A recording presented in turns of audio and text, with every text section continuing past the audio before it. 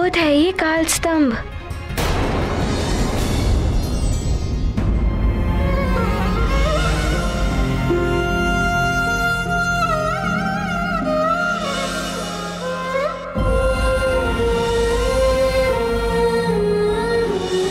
पुत्र हनुमान। माँ।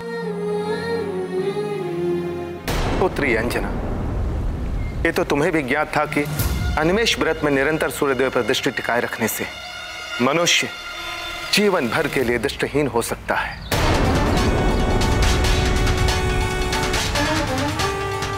हनुमान को इस परीक्षा के कारण समस्त वरदानी शक्तियों को त्याग करना पड़ा था।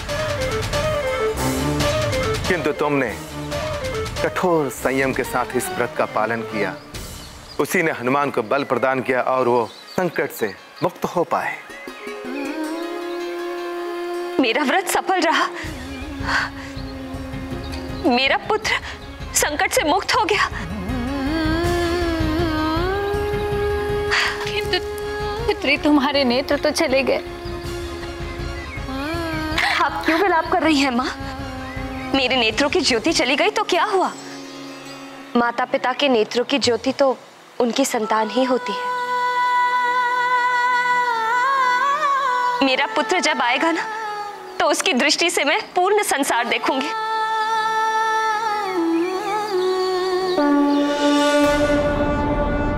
पुत्री अंजना आज तुमने यह सिद्ध कर दिया कि एक माँ अपने पुत्र की कुशलता के लिए कुछ भी कर सकती है। माँ ऐसी ही होती है ऋषिवर। मैंने तो केवल अपना कर्तव्य निभाया है। माता पिता के नेत्रों की दृष्टि उनकी संतान होती है।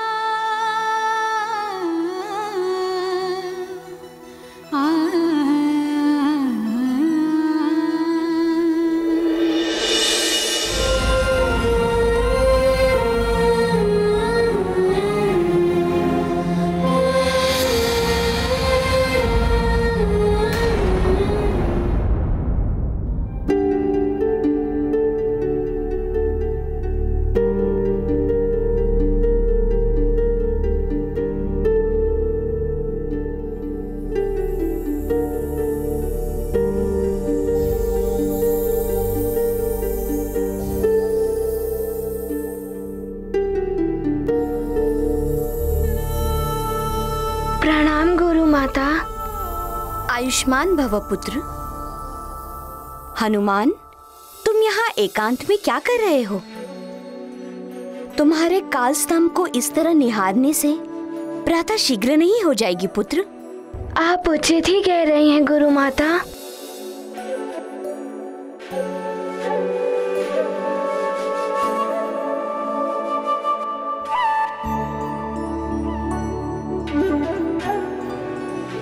हनुमान क्या हुआ पुत्र?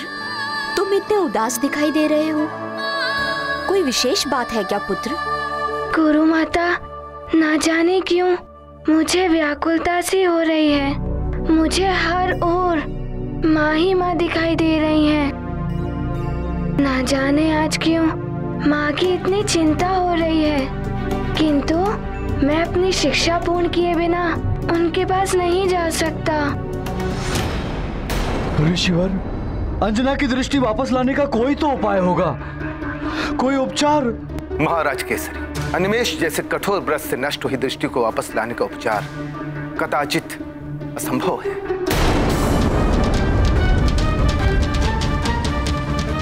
सेनापति कहीं तो किसी के पास होगा इसका उपचार। जाइए राज्य भर से आसपास के पड़ोसी राज्यों से योग वैद्यों को ढूंढ कर लाइए। शीघ्र जाइए। अवश्य महाराज। अब हमें आज्ञा दे ऋषिवर आप सबका कल्याण। चलो अंजना। चलो। हनुमान तुम चिंता छोड़कर अपनी शिक्षा पे ध्यान दो।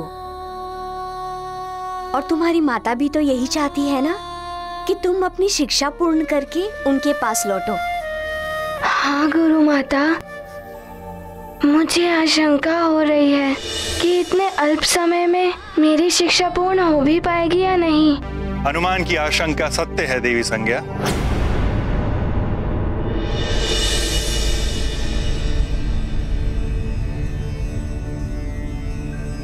प्रणाम। शिक्षा प्रदान करने के लिए समय बेहद ही अल्प शेष है। मैं भी समय के नियम से बंधा हूँ। संध्या काल के पश्चात और प्रातः काल के पूर्व मैं तुम्हें शिक्षा नहीं दे सकता। अन्यथा कालकुंभ क्षेत्र से लौटते ही मैं तुम्हारी शिक्षा आरंभ कर देता।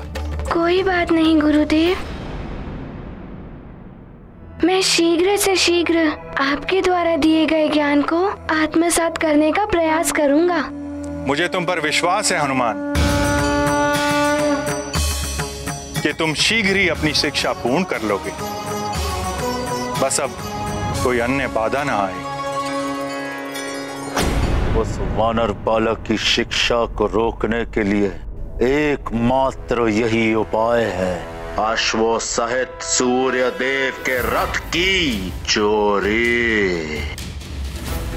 सत्य कह रहे हैं लंकेश सूर्यदेव का रथ नहीं होगा तो सूर्योदय नहीं होगा।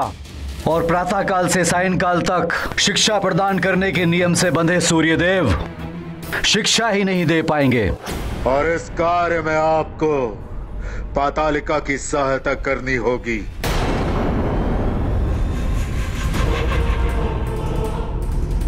हनुमान की शिक्षा रोकने के लिए मैं किसी की भी सहायता करने के लिए प्रस्तुत हूँ। मेरे पुत्र के साथ हुए अन्याय का प्रतिशोध लेने के लिए यही एक सर्वोत्तम उपाय है। सूर्यदेव के रथ और घोड़ों के स्थान के बारे में बताऊँगा और वो देव मंत्र भी दूँगा। उन्हें अपने मंत्रों के साथ प्रयोग करके वो सूर्यदेव के अश्वों पर भी नियंत्रण कर लेगी। तो फिर इस शुभ कार्य में विलंब कैसा? आज ही इस कार्य को संपन्न करते हैं।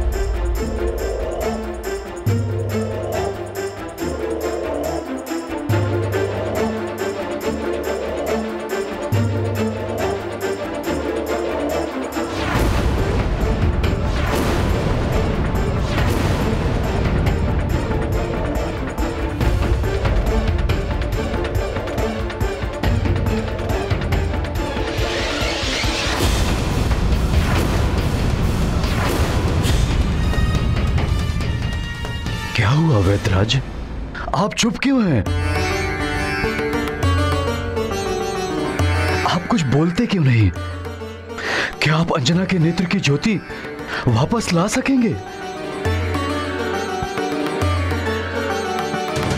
आप सब तो महान विद्वान वैद हैं। क्या अनिमेश व्रत के द्वारा गई हुई नेत्र की ज्योति वापस लाने का कोई उपचार नहीं है आपके पास? क्षमा कीजिए मैं अनिवेश व्रत के समय सूर्य के महातेज से गई हुई दृष्टि को हम वापस नहीं ला सकते। इसका उपचार असंभव है।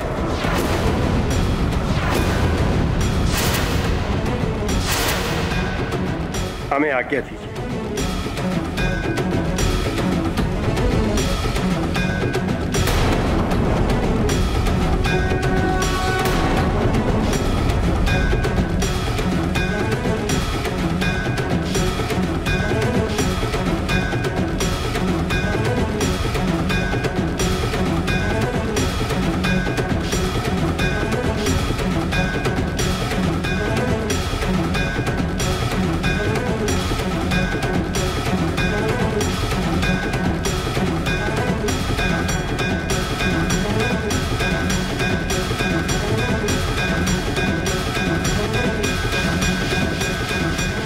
स्वामी।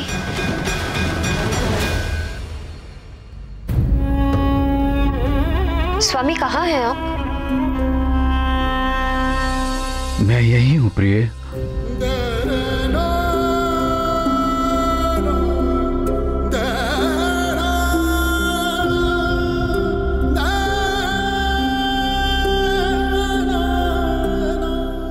स्वामी मैं यही हूँ तुम्हारे पास। स्वामी मैं जानती हूँ कि आप और सब मेरे लिए बहुत दुखी हैं। किंतु दुखी होने की कोई आवश्यकता नहीं। मुझे तो सबसे अधिक सुख का आभास हो रहा है। सुख का आभास?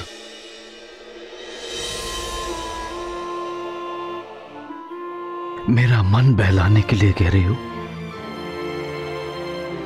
नेत्रों की ज्योति जाने से सारा जीवन अंधकारमय हो जाता है।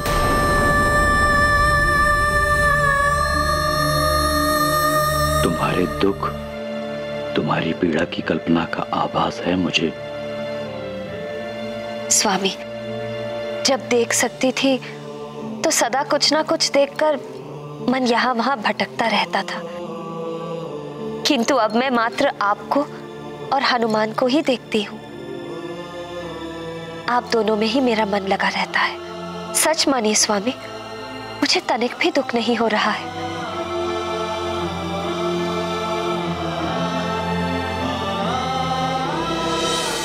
ना जाने हनुमान पर क्या बीतेगी, जब वो तुम्हें इस अवस्था में देखेगा।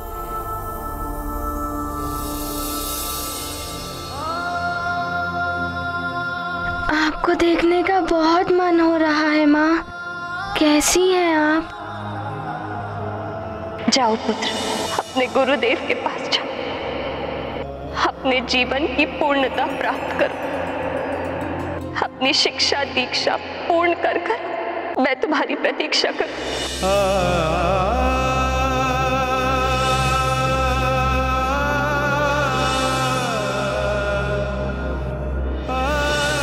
अपनी माँ का स्मरण रखना जब भी मेरा मन तुम्हारे मुख चंद्र को देखने के लिए व्याकुल होगा,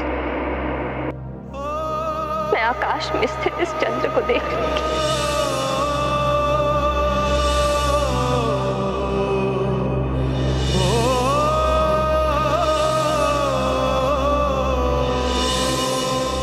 माँ, मेरी शिक्षा पूर्ण होने में बस चार दिन ही शेष हैं। जब मेरी शिक्षा पूर्ण हो जाएगी तो मैं सीधे आपके पास आ जाऊँगा। एक पल भी नहीं रुकूँगा। सीधे आपके पास आऊँगा, माँ। मैं पूरे मनोयोग से अपनी शिक्षा पूर्ण करूँगा। बस कोई अन्य बाधा ना आए।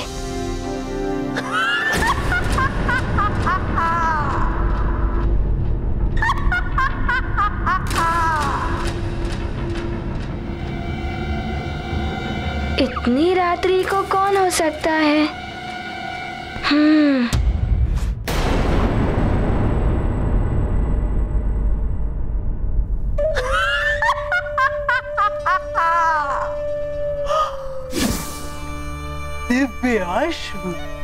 अति सुंदर लग रहे हो तुम सब।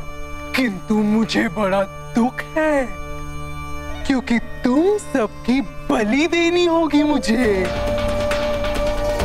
यहाँ से ले जाऊँगी मैं तुम सबको।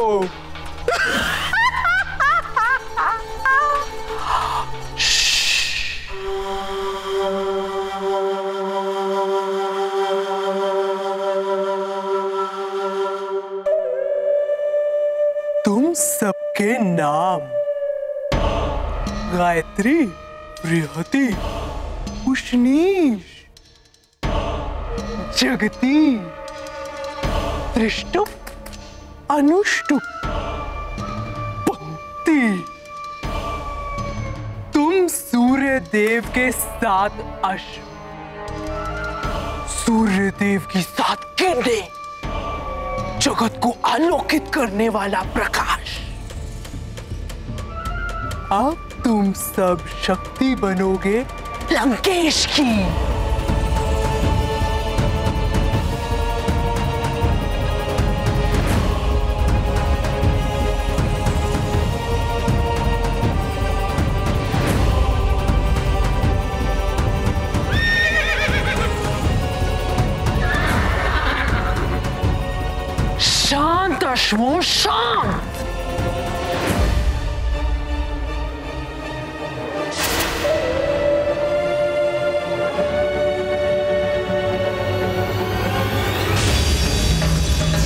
अधिक मत उछलो अश्वों शीघ्र ही तुम मेरे और वरुण देव के बताए हुए मंत्रों में बंधकर मेरे नियंत्रण में होगे।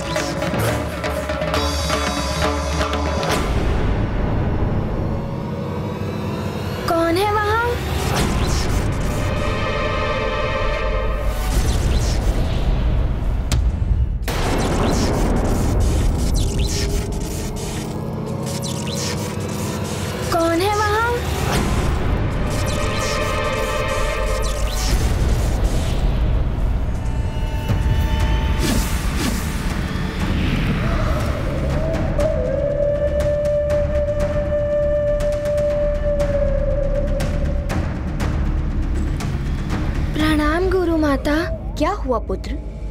तुम अभी तक विश्राम के लिए नहीं गए? मुझे नींद्रा ही नहीं आ रही थी। किंतु आप यहाँ इस समय क्या कर रही हैं? मैं तो यहाँ अश्वों के देखभाल के लिए आई थी। किंतु तुम यहाँ कैसे आ गए? वो मुझे इतनी रात्रि को किसी की ध्वनि सुनाई दी थी। तो मुझे शंका हुई तो मैं चला आया। मेरे अतिरिक्त अन्य कौन यहाँ आ सकता है? तुम्हारी सजगता ये सिद्ध करती है कि तुम कितने अच्छे शिष्य हो। और यही सजगता तुम्हारे भावी जीवन में काम आएगी। किंतु अब जाकर तुम विश्राम करो। तभी प्रातः काल में तुम शिक्षा के लिए पूर्ण ऊर्जा और स्फूर्ति के साथ प्रस्तुत हो पाओगे। उचित है गुरु माता प्रणाम।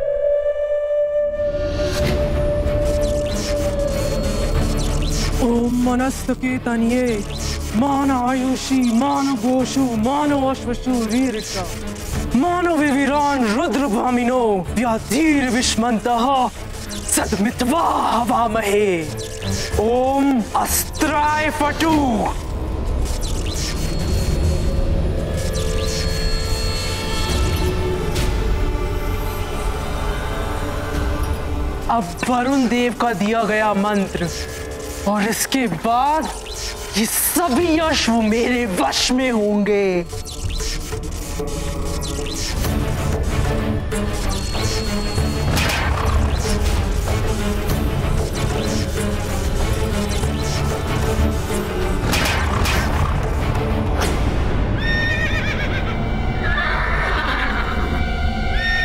माता के होते हुए भी समस्त अश्व इतने व्याकुल और अशांत क्यों हैं?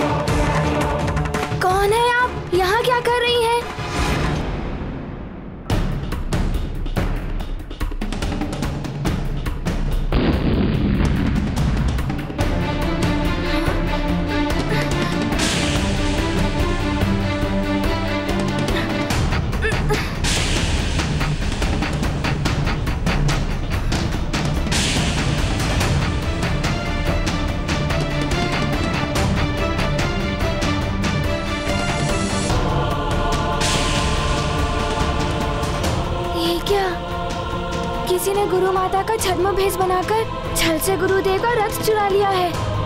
कौन हो सकता है ये? मुझे पता लगाना ही होगा। For more update subscribe to our channel click the show links and enjoy watching the videos